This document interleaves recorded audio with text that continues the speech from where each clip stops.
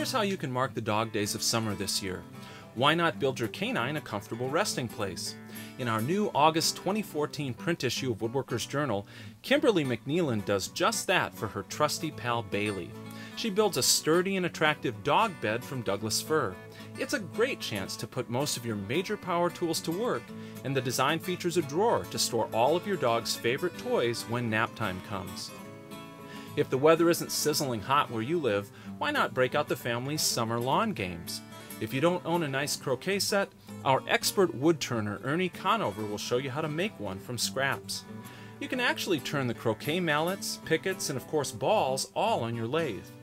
Ernie uses a nifty jig from Carter Products called the Perfect Sphere that makes the balls even easier to turn round, and he demonstrates how to use the jig in a new More on the Web video for August. But summer weather can be pretty sultry, and that might force you to stay inside.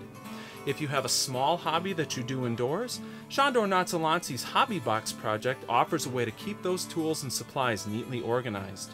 It has a fold-down work surface, cubbies for storing sundries, and an LED task light.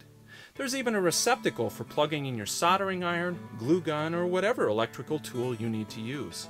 Better yet, this box stands on legs, so you can sit in your favorite lounge chair or couch and while away the project hours in comfort.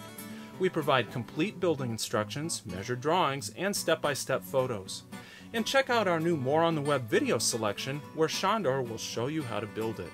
On the tool side of our issue, every shop and garage can make use of a good vacuum. And shop vacuum manufacturers are making them quieter, more powerful, feature-packed, and easier to maintain. In our Today's Shop department, Larry Okrend will give you the nickel tour of some of today's snazziest and most useful shop vacuums. He breaks them down into several practical categories so you can make a wise choice based on your shop and cleaning needs. And speaking of shop needs, have you ever wished you could have the convenience of even tinier pneumatic nails? Well, you certainly can with today's 23 gauge pin nailers. Their nails are every bit as thin and discreet as stick pins, making them perfect for your most delicate and visible nailing jobs. Senior editor Chris Marshall takes a look at eight mid-price pin nailers in our August tool test, then puts them through some rigorous nailing trials. See which nailer is your best buy in our pin nailer shootout. If you think a scraper is just a beginner's tool for wood turning, Ernie Conover will disagree. In fact, in our wood turning department, Ernie espouses the virtues of these easy to make, easy to sharpen mainstays that should be part of any turner's tool collection.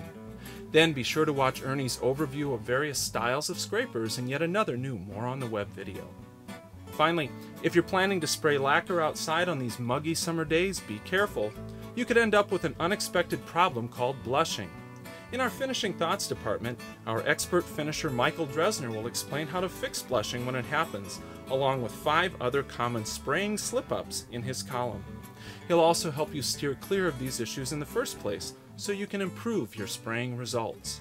And as always, be sure to check out some interesting feedback from fellow readers in our letters department, take a guess on our new Stumpers tool, and read what our experts have to say in Q&A. Quiz your knowledge on our new trivia page, see the latest tools and supplies and what's in store, plus lots of other new content in this issue. If you're a subscriber, your new August 2014 print issue will be arriving soon. But if you'd like to order a copy of just this issue or start a new subscription, visit woodworkersjournal.com. And if you're looking for a full line of woodworking products and supplies, be sure to check out rockler.com or visit a Rockler store near you.